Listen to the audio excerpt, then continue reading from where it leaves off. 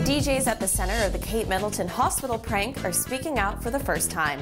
Hey guys, it's Chloe and HollywoodLife.com has all the details.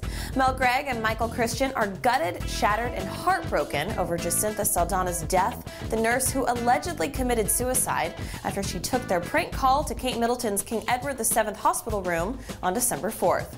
The DJs gave their first interview on December 10th as they shed tears and apologized for their actions. You had any idea that something like this could be even possible to happen, you know, we couldn't see this happening. It was meant to be a prank call.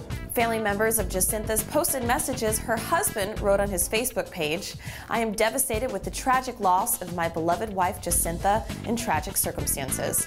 Mel and Michael have been in hiding since news broke of Jacintha's alleged suicide 72 hours after the hoax call was made.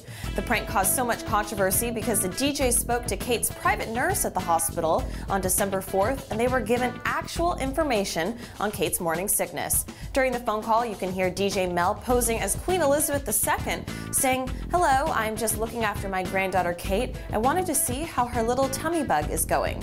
It's unclear exactly what the nurse told Mel, but she says that the nurse was giving us real information that left her in shock. Be a silly little prank that so many people have done before. See these arrows? Click on them for the next or previous story from ENTV. And for all things Hollywood, log on to HollywoodLife.com. And don't forget to subscribe to ENTV for all of your entertainment news first.